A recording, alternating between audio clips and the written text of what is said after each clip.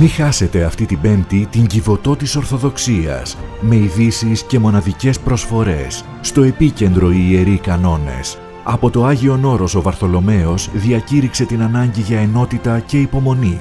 Αρχιεπισκοπία Χρίδος, η ιστορία, η Βουλγαρία και τα νέα δεδομένα και μαζί, ανήμερα της εορτής της Αναλήψεως του Κυρίου και για μία εβδομάδα, σας προσφέρει την πολύτιμη εικόνα «Η Ανάληψης» σε βυζαντινή τεχνοτροπία, καλέσθητη, ξύλινη με ανάγλυφη χρυσοτυπία σε κανονικό μέγεθος και απόσπασμα από την Ιερή Ακολουθία στο πίσω μέρος της εικόνας. Αυτή την Πέμπτη με την Κιβωτό της Ορθοδοξίας.